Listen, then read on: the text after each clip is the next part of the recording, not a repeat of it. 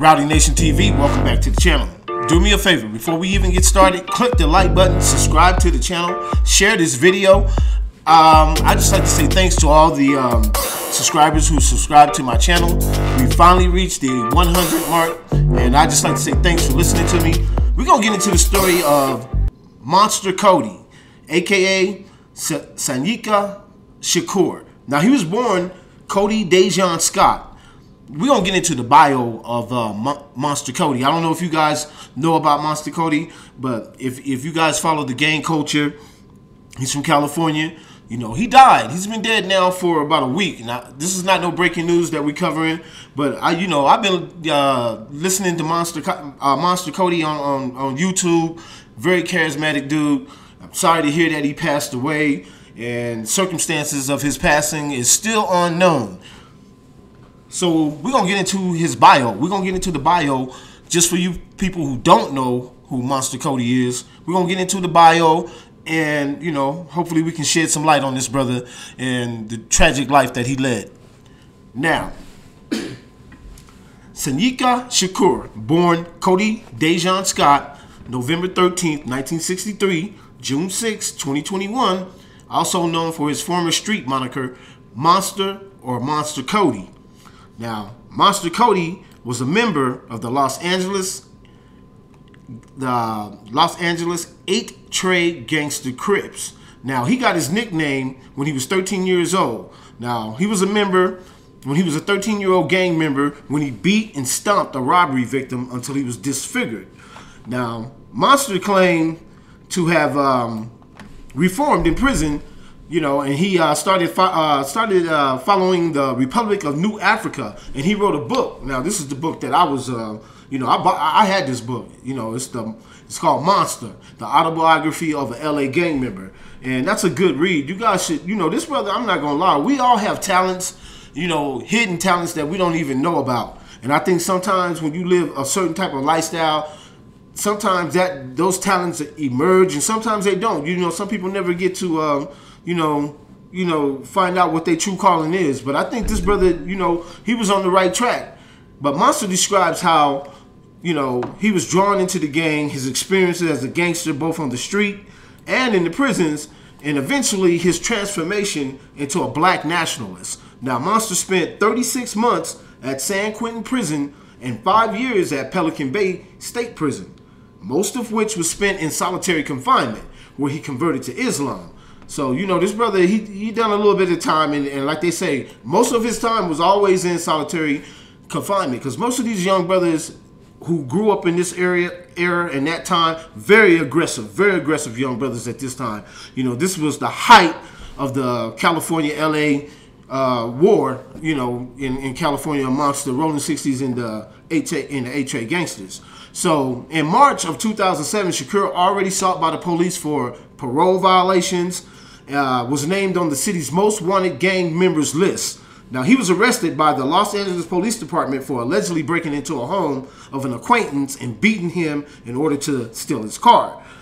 Now, the charges represent a possible third strike that could send Monster back to prison for life. Now, in, in May of 2008, Shakur pleaded no contest to carjacking and robbery charges and was sentenced to six years in state prison. Also in 2008, Monster you know, he wrote a book about a, a fiction book called Thug Life. Now, it didn't get the rave reviews. It was it didn't get you know it wasn't as popular as his autobiography. Now, he was released from Pel Pelican Bay after serving two thirds of a six year sentence in August of 2012. So. Monster been in and out of jail for a long time. You know what I'm saying? This brother, you know, he seemed like he had demons that he was struggling with. You know what I'm saying? You know, Monster was born Kody Dejon Scott in, in Los Angeles, California on November 13, 1963, as we said. You know, to Ernest Scott and Birdie Canada, both from Houston, Texas. So his people come from the South. Just like most of everybody, you know, that migrated out from, from these southern towns. My family, you know, I migrated out from the South to where I am at today. You know what I'm saying? So, you know, his people are from Texas. Kody was the fifth of six children, including four brothers and two sisters. So he got a brother named Kevin, a sister named Kim. He got a brother named Kerwin, a brother named Kershawn, and then there's Kody himself, and then there's Kendis. So Shakur believed it was probable that he was the son of former Los Angeles Rams running back Dick Bass. I'm not sure. Do you guys know who Dick Bass is? Are you sports fans? Anybody out there sports fans? I don't. I don't know if Dick Bass was in my era. You know, he was probably a little bit before me. I, have never really heard of him. And that he was uh, conceived during an adulterous affair that his mother was having with the with the football star. A claim for which there is no compelling evidence. Now, Ernest Scott held a bitter resentment toward uh, Birdie's affair and physically abused his wife regularly throughout Monster's early childhood. So they're talking about his mother, you know, how his mother was being abused by his stepfather. They didn't believe that this was his dad, you know what I'm saying? So um, in 1972, Birdie Scott moved her family into a house on West 69th Street and Denker Avenue in a rough and gang infested neighborhood on the west side of South, South, Los, uh, South Central Los Angeles. According to Shakur, his first encounter with street gangs occurred at the age 10 when he was assaulted by two 13 year olds who stole his money. Because Birdie Scott worked several jobs to support her large family, as well as the neglected the neglect that he received from Ernest Scott, Young Monster would often hang out on the streets of his new neighborhood. It was around this time that he began hanging around his neighbor, Stanley Tookie Williams, the leader of the West Side Crips street gang. Now, I know you guys, I don't know if you know who uh, Stanley Tookie Williams is. I don't know. Remember, Jamie Foxx played Stanley Tookie Williams in that in that movie. I can't remember the name of the movie. Was it Blue Rage, uh, Black Redemption? I think that was, know, Black Redemption or something like that. But um, let's let's get back into it. In his memoir, Blue Rage, Black Redemption, Tookie Williams recalled the occasion in which he and other adult members of the Crips would smoke PCP and lift weights, and um, at at Williams' house. According according according to Williams, Monster was always present at the house and would watch in awe as the gang members would lift weights and tell stories about the gang fights and shootings they had committed. In the book, Williams also expressed his regret regarding his behavior around the impressionable young Shakur. He even held himself personally responsible for exposing Shakur to drugs, as Shakur himself would later become a frequent, you know, we're talking about Monster, who Shakur become a frequent PCP user. Wow, you know what I'm saying? So, you know, he started off very young using some really serious hard drugs, you know, PCP. In 1975, a member of the West Side Crips, nicknamed Sidewinder, formed a set called the 8 Tray Gangster Crips, also known as the 83rd GC slash maybe uh, ETG or ETGC. In uh, Shakur's neighborhood on the evening of June 15th, 1975, the day of his sixth grade graduation. Now they banging. Now this is back. You, listen to this. He's only in the sixth grade, right?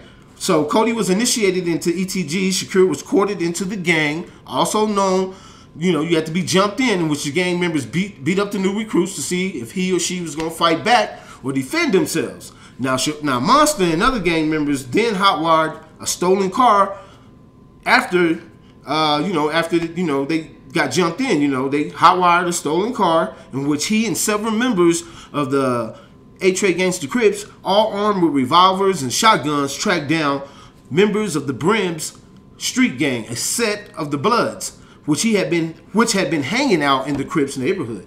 Now the 8-Tray gangsters opened fire on a group of approximately, you know, about 15 brims, shooting several of them. You know, shoot. Monster armed with a 12, you know, 12 gauge shotgun, instructed not to come back until all eight rounds of the weapon was gone. So there was somebody behind him controlling this young man at the age of in in, in, in the sixth grade. You know, which is a which is a horrible thing to do. You know what I'm saying? To manipulate some young man's mind. And in the sixth grade, he's carrying a sawed-off shotgun. Can you imagine that? I got kids. You know what I'm saying? Can I imagine? I, I can't even. Man, this is crazy. So this is the life that this young brother was living, and this is how it got. And he's smoking PCP. Now remember, he's he's he's already smoking PCP. He's carrying around a 12 gauge shotgun. Nothing good can be coming, right? Let's get back into it and instructed not to return to the car unless he used all eight rounds of the weapon. He shot several Brim gang members that evening. Now, that's crazy, right? Sixth grade. Now, as a new member of the Crips, Monster was mentored in the ways of gang banging by Trey Ball. In 1977, at the age of 13, Monster and Trey Ball attempted to rob an older African American man who was walking through their neighborhood. The man punched Shakur. Uh, the man punched Monster in the face, and after being physically restrained by Trey Ball when he attempted to run, was kicked and stumped by uh, by by Monster for approximately 20 minutes.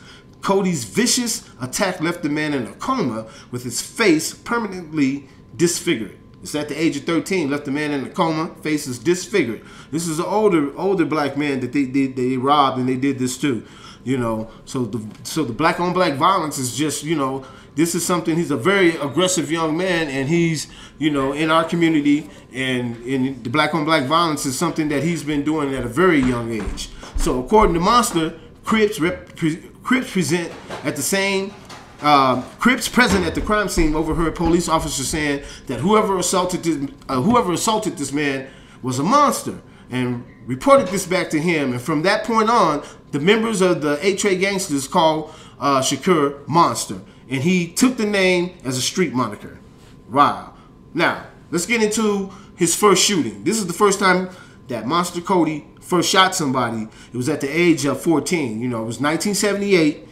Um, um, he shot at the at an employee at a fast food restaurant who had assaulted his younger brother Kershawn, and later assaulted and pulled a gun on on Monster. Kershawn uh, Scott later joined the 8 Trays and assumed the, the nickname Little Monster. So he took on the, the you know he took on his uh, brother's name, you know. So he became his his little brother became Little Monster. So a week after being released from jail, Monster was arrested again after being falsely accused of shooting a member of the Inglewood family Bloods while he and other members of the Crips were on their way to a roller skating rink in Compton, California on February 14, 1979. Monster was arrested for an assault and grand theft auto and served nine months at Camp Munz in Lake Hughes, California. Now we're gonna get into the rivalry between the 8 Trey gangster uh, Crips and the Rolling 60s. Now, this is the beginning of the Crip on Crip violence. We're gonna get into we're gonna get into this because before all this stuff happened, these two groups of people I heard used to hang out you know, even though they were from different cliques, I don't even know they. I don't even think they were sets then. I think they. I don't even. I think because I heard Monster say on one video that the '60s was only called '60s. They were. They didn't even have the rolling on that yet. They was. You know, you had the rolling abs, and then you had the '60s, and they both were in the same neighborhood. And I can't remember something happened, and then the rolling abs became the rolling '60s. So let's get into this. During Shakur's stay at Camp Munz, several major events occurred on the streets of South Los Angeles that involved the Crips. On March 15, 1979, the West Side Crips leader Stanley Tookie Williams was arrested for four murders uh, committed during two separate robberies while on an alleged drug binge. Now, to his death, uh, Tookie, Tookie Williams denied killing those four people all the way up until his execution. He denied that, bro. So, and it seemed like if you're on your deathbed, wouldn't you want to tell the truth? So I don't really know. Somebody just asked me the other day, man, do you think do uh, uh, uh, Tookie did that? And I was like, man, I really don't know.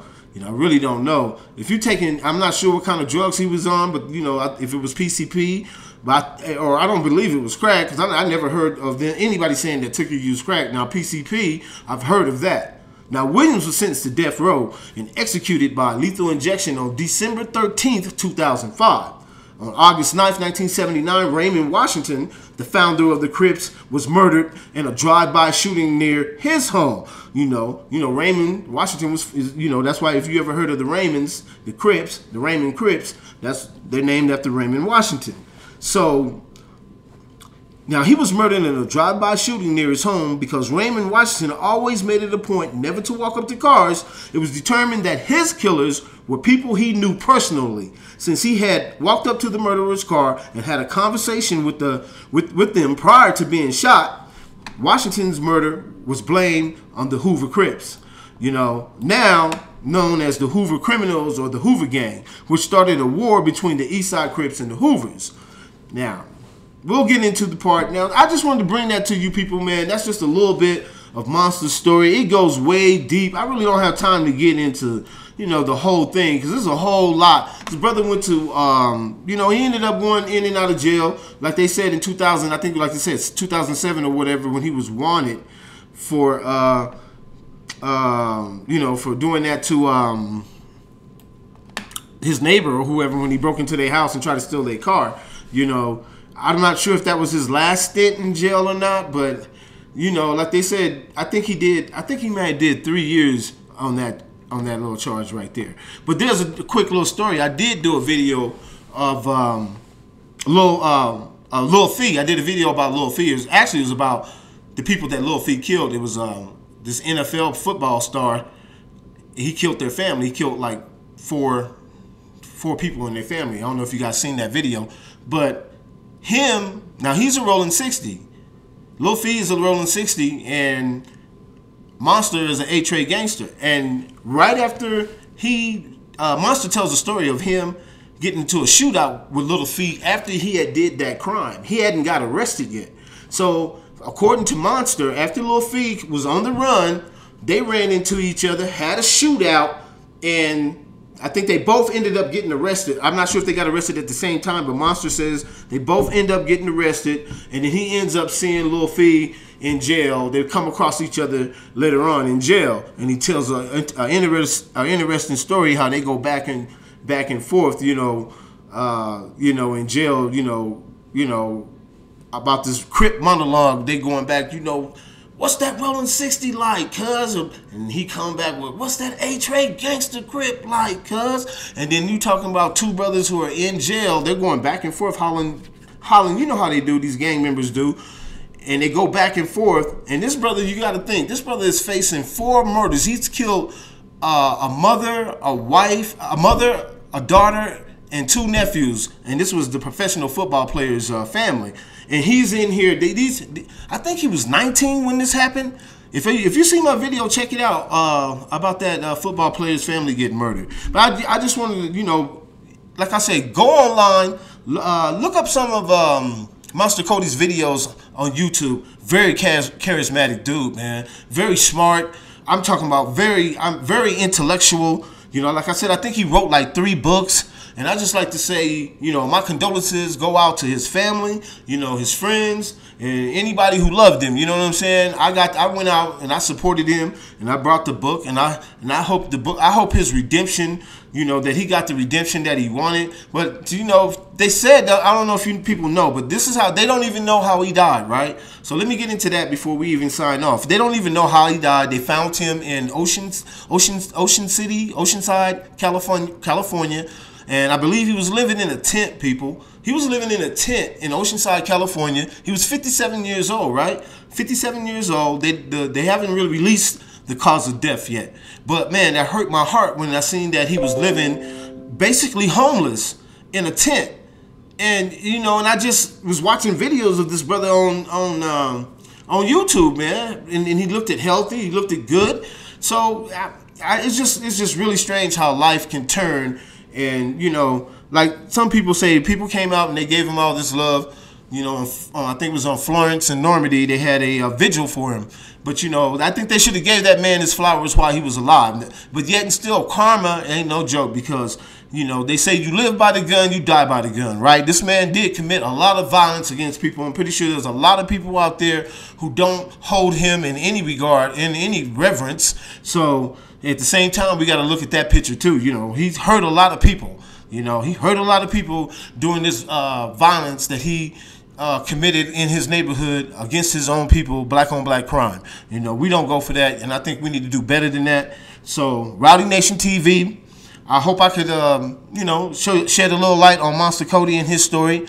Oh yeah, thanks again, people. I just want to say thanks uh, for the 100 subscribers. Man, I'm I, I tell y'all what, once I get to, I want to try to, you know, get like 500 subscribers, and then I can probably like maybe give it like a T-shirt and a hat away with Rowdy Nation TV on it. I'm just thinking, you know, I, I got another job I be working, so this is like my little hobby. But I really love talking to you guys. I really love sharing stories with you. So I just want to keep this going. Anybody listening to this, give me a shout out. Click that like button. Share this video. Rowdy Nation TV. Have a good day. Rowdy Nation TV. We out.